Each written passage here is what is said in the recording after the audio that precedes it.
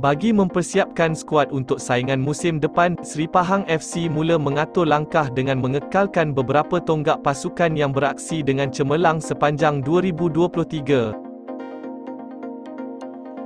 Dua bek sayap, Azrif Nasrul Haq dan Syazwan Andik merupakan dua nama yang pada awalnya dikekalkan setelah masing-masing hadir dengan status pinjaman sebelum ini.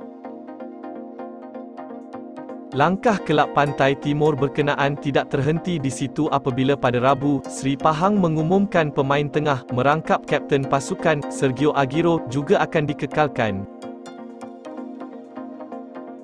Pemain yang dikenali dengan kebolehan beraksi dalam beberapa posisi itu, memainkan peranan penting, dengan 5 gol dan 5 bantuan jaringannya membantu mereka ke kedudukan kelima Liga Super.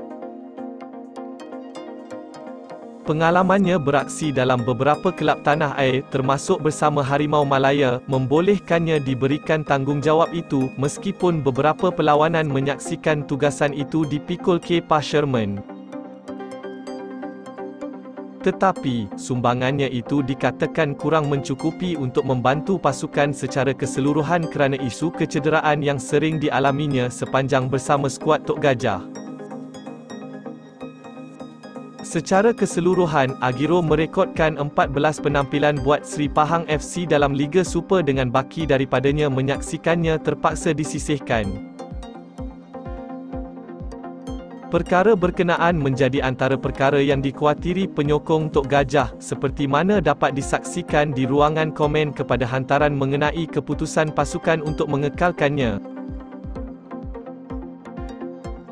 Agiro sebelum ini menyertai skuad Tok Gajah dari Perak FC pada November 2021 dengan sumbangannya terus ditagih pihak kejurulatihan setiap musim.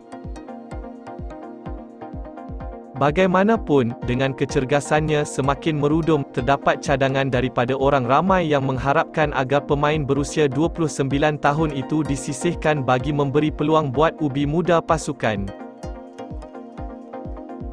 Antara nama-nama yang disebut ialah pemain muda Tok Gajah, Saiful Jamaluddin, yang beberapa kali beraksi buat skuad senior, termasuk ketika berdepan Johor Darul Tazim pada 2022, meskipun hanya beraksi sebagai pemain tengah bertahan, kebolehannya melakukan rembatan dari luar kotak penalti tidak boleh dipertikaikan, dengan ia merupakan salah satu kelebihan dimilikinya.